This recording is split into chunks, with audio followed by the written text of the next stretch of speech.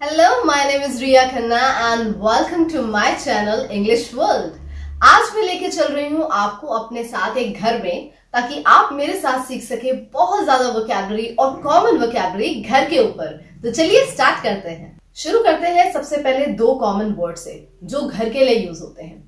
ये है हाउस और होम दोनों ही वर्ड घर के लिए यूज़ किए जाते हैं लेकिन इनमें एक मेजर डिफरेंस है। हाउस हम तब यूज़ करते हैं जब हम ये कहना चाहते हैं कि ये एक बिल्डिंग है, ये एक मकान है जहाँ पर लोग रहने के लिए यूज़ कर रहे हैं। तो एक मकान, एक बिल्डिंग जिसे लोग रहने के लिए यूज़ करें, उसे कहते हैं हाउस। लेकिन अगर हम होम की बात करें, होम से हम बहुत ज़्यादा कनेक्टेड फील करते हैं। होम एक ऐसी जगह है जिसे हम कहते हैं घर। हम इसे मकान नहीं कहते। हम कहते हैं ये मेरा घर है। हम ये नहीं कहते दिस इज़ माई हाउस हम ये कहते हैं दिस इज़ माई होम तो यहाँ से हम फील करते हैं कि हम कनेक्टेड हैं, यहाँ पर लोग रहते हैं, जिनसे हम प्यार करते हैं, जिनकी केयर करते हैं। तो होम जो है, वो घर के लिए यूज़ होता है, जहाँ प्यार और केयर है। और हाउस जो है, वो एक बिल्डिंग के लिए यूज़ होता है, जिसे हम रहने के लिए यूज़ कर रहे हैं। तो ये डिफरेंस है हाउस और होम में। एक और वर्ड जो है यूज़ किया जाता है रहने के लिए, जिसे हम बहुत ही फॉर्मल वे में यूज़ करते हैं, और खास करके ये रिटर्न लैंग्वेज में ही यूज़ होता है।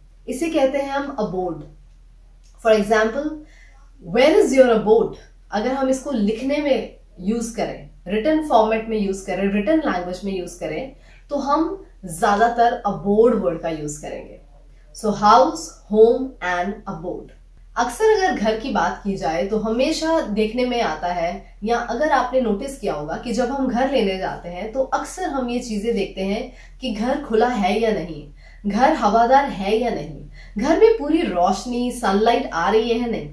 तो इन सारे वर्ड्स के लिए कुछ वोकेबलरी होती है जो आप भी यूज़ कर सकते हैं। अगर आप एक ऐसा घर देख रहे हैं जो बहुत ज़्यादा खुला हो, जिसमें बहुत ज़्यादा स्पेस हो तो उस घर को हम कह सकते हैं स्पेशियस स्पेशियस फॉर एग्ज़ाम्पल हमारे नानी का जो घर था, वो बहुत ज़्यादा खुला था। उसमें कम से कम 10-12 कमरे थे। तो इतना खुला घर और बड़े घर को हम स्पेशियस कहते हैं। स्पेशियस जिसमें बहुत ज़्यादा स्पेस हो। उसी तरह, एक ऐसा घर जहाँ बहुत हवा हो, जहाँ खिड़कियाँ हो, रोशनदान हो, खुल के हवा आती हो। तो ऐसा घर जिसमें हवा आती है, जिसमें बहुत ज़्यादा खिड़कियाँ हैं तो उस घर को आप एरी कह सकते हैं। फॉर एग्ज़ाम्पल अगर आप घर लेने जाएँ और आप किसी प्रॉपर्टी डीलर को बोलें कि this house is not airy ये घर तो हवादार ही नहीं है। हवादार नहीं है, इसका मतलब यहाँ हवा का कोई सिस्टम ही नहीं है। ना कोई खिड़की है, ना कोई रोशनदान है। Then you can say this is not airy airy house एक और वर्ड बहुत कॉमन है जो घर से जुड़ा है।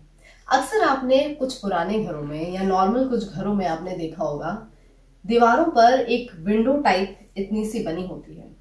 ये विंडो का मकसद होता है घर में फ्रेश एयर लेके आना या घर के अंदर जो बासी एयर स्टेगनेंट हवा या फाउल स्मेल गंदी स्मेल्स हैं, उनको बाहर एक्सपेल करने के लिए इस चीज़ का यूज़ होता है।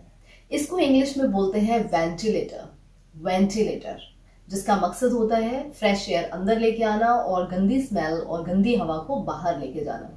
ये अक्सर घरों में बहुत ज़्यादा यूज़ किए जाते हैं, बनाए जाते हैं। अक्सर जो आर्किटेक्ट्स होते हैं, वो खास तौर से ध्यान रखते हैं कि घर जो है वो एरी हो और वहाँ पर वेंटिलेटर्स हो। खिड़कियाँ या वेंटिलेटर्स बहुत ज़रूरी होते हैं घरों के लिए। अब बढ़ते हैं घर की दीवारों की तरफ़। दीवारों को इंग्लिश में कहा जाता है वॉल्स वॉल्स लेकिन वॉल्स के ऊपर क्या यूज़ किया जाता है? मतलब वॉल्स को किस तरह से डेकोरेट किया जाता है? या वॉल्स को डेकोरेट करने से पहले भी दीवारों पर लगाया क्या जाता है? उनको स्मूथ करने के लिए। दीवारों पर अक्सर लगाया जाता है प्लास्टर प्लास्टर। प्लास्टर बना होता है रेत, सीमेंट, कई बार लाइम चूना या वाटर से। इन सब का मिक्सचर जो है बनाकर दीवारों को स्मूथ करने के लिए लगाया जाता है और जब ये ड्राई हो जाता है, जब ये सूख जाता है तो इसके ऊपर आप व्हाइट वॉश या पेंट करा सकते हैं। इन्हीं दीवारों की अगर हम बात करें तो अक्सर आपने देखा होगा कि कई बार घर की दीवारों के ऊपर कुछ नमी सी आ जाती है, कुछ मॉइस्चर सा आ जाता है। ऐसा लगता है जैसे दीवार गीली है। हल्का हल्का सा पानी वहाँ फील होता है। तो ऐसी दीवार जहाँ पर आपको मॉइस्चर लगे, नमी लगे तो वहाँ पर हम कहते हैं कि इस दीवार पर सैलाब है। इस सैलाब और नमी को इंग्लिश में बोलते हैं डैम्प तो हम कह सकते हैं there is a dam on the wall और इसी डैम की वजह से दीवार पर जो प्लास्टर होता है या पेंट होता है, वो कई बार उखड़ जाता है, जो मुझे बहुत बुरा लगता है। दरवाजों की तरफ़ अगर हम बात करें तो अक्सर आपने देखा होगा, हर दरवाजे, हर खिड़की के ऊपर डोर्स या विंडोज़ के ऊपर कुछ चिटकनियाँ होती हैं, जिससे आप उनको बंद कर सकते हैं। अब चिटकनी को इंग्लिश में क्या कहते हैं? चिटनी को कहते हैं बोल्ट ये इस तरह से भी बंद की जा सकती हैं या इस तरह से भी बंद की जा सकती हैं। हर एक तरह की चिटकनी, जो एक छोटी सी एक बार की तरह है, एक एक बार की एक स्टिक की तरह है जो एक सॉकेट में जाके उस चीज़ को बंद कर देती है, चाहे वो खिड़की हो या दरवाज़ा हो, उसे कहते हैं बोल्ट बोल्ट ये होती है दरवाजों या खिड़कियों के ऊपर. अब हम नोटिस करते हैं एक ऐसी जगह जो हर घर में, हर दरवाजे के बॉटम पे डोरवे पे होती है. डोरवे का मतलब जहाँ से आप एंटर करते हैं या एग्जिट करते हैं, दरवाजे का एक रास्ता जहाँ ज़मीन पर बॉटम पे हल्की सी आप देखेंगे, एक छोटी सी स्ट्रिप सी बनी होती है। स्ट्रिप का मतलब फ्लोर से, जैसे अगर ये फ्लोर है तो फ्लोर से हल्का सा थोड़ा सा ऊँचे एक दहलीज बनाई जाती है। वो कई बार वुडन की हो सकती है, कई बार वो पत्थर की हो सकती है। वो हल्की सी जो थोड़ी सी दहलीज होती है, वो हर दरवाजे के बॉटम पे बनाई जाती है।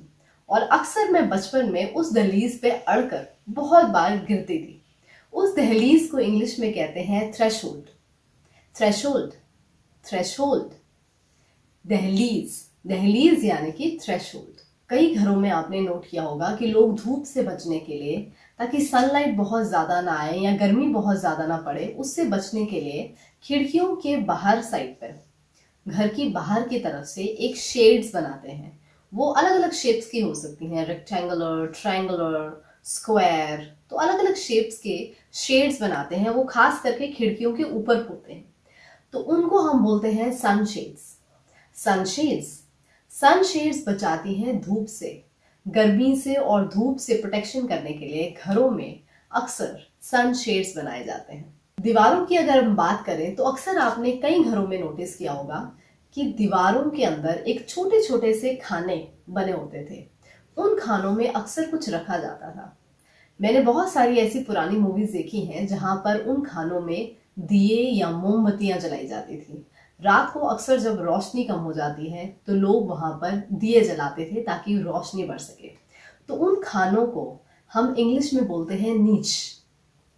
इनको हम आले भी कह सकते हैं, खाने भी कह सकते हैं। इंग्लिश में हम इनको बोलते हैं नीच। नीच। घर के कमरों से बाहर निकले तो हमें दिखता है खुला सा एरिया, जिसे हम बोलते हैं बरामदा या आँगन। इसको इंग्लिश में बोलते हैं corridor corridor I love the corridor और कॉरिडोर में अक्सर मैं बचपन में बैडमिंटन खेलती थी। कॉरिडोर बरामदा या आँगन, यहाँ पर आप कुछ भी खेल सकते हैं, खुली जगह को एंजॉय कर सकते हैं। तो घर में अक्सर चीज़ों को स्टोर करने के लिए कुछ लोग स्टोर रूम बनाते हैं जो ग्राउंड फ्लोर पे बन सकते हैं या बेसमेंट एरिया में बन सकते हैं। लेकिन कई बार आपने देखा होगा कि घरों में छत जो होती है, कमरे की जो छत होती है, उससे डाउन सीलिंग की तरफ़, नीचे की तरफ़ एक और छत डालकर, एक एक शेल्फ डालकर उस एरिया को बंद कर दिया जाता था और उसे बोलते हैं एटिक एटिक ये भी एक तरह का एक स्टोर रूम है, लेकिन इसे हम बोलते हैं एटिक जो छत से नीचे की तरफ़ बना होता है, जहाँ पर हम कुछ स्टोर कर सकते हैं, उस जगह को हम बोलते हैं एटिक कई लोगों के आपने घर में देखा होगा कि अंडरग्राउंड कुछ स्टोर रूम्स बनाए जाते हैं।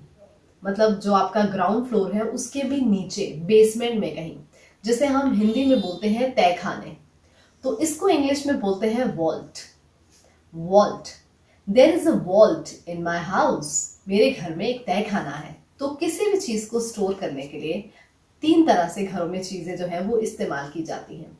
या वो बनाते हैं एक स्टोर रूम जो ग्राउंड फ्लोर पे हो सकता है, या वो बनाते हैं वॉल्ट तय खाने, जो बेसमेंट में हो सकते हैं अंडरग्राउंड या वो बनाते हैं attic so store room vault और एटिक ये तीनों जगहें यूज़ होती हैं घरों में चीज़ों को संभालने के लिए स्टोर करके रखने के लिए। दीवारों की अगर हम बात करें तो दीवारों पर सलाब नमी, धूल, मिट्टी, ये सब तो आपने देखा हुआ है।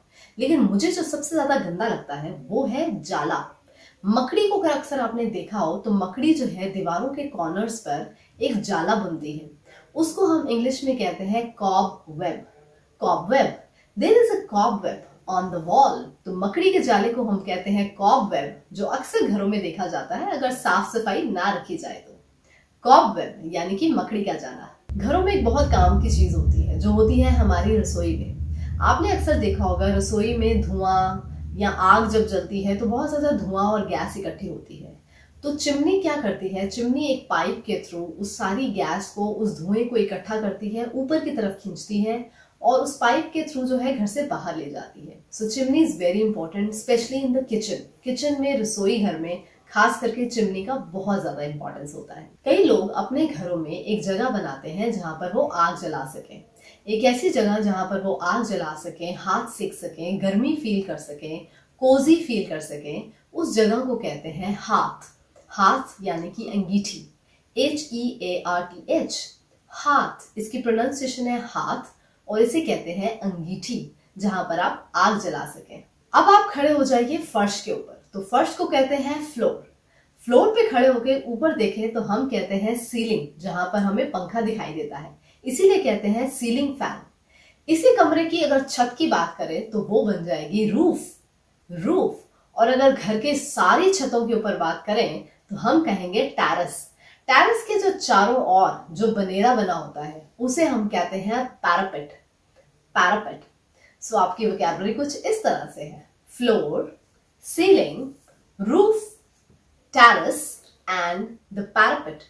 Time for the assignment आज का असाइनमेंट ये है कि आपको अपने हाउस के बारे में सेवन सेंटेंसेस कमेंट बॉक्स में टाइप करके भेजने हैं और मैं उसको करूँगी इवेलुएट ध्यान में रखिएगा कि जब आप अपने सेंटेंसेस लिखें सेवन सेंटेंसेस तो आप ये सारी वोकेबलरी का यूज़ ज़रूर करें ताकि आप इस वोकेबलरी की प्रैक्टिस कर सकें। मैं इस असाइनमेंट को इवेलुएट करूँगी और मैं मिलूँगी आपको अपने नेक्स्ट लेसन में. Till then you take care and stay blessed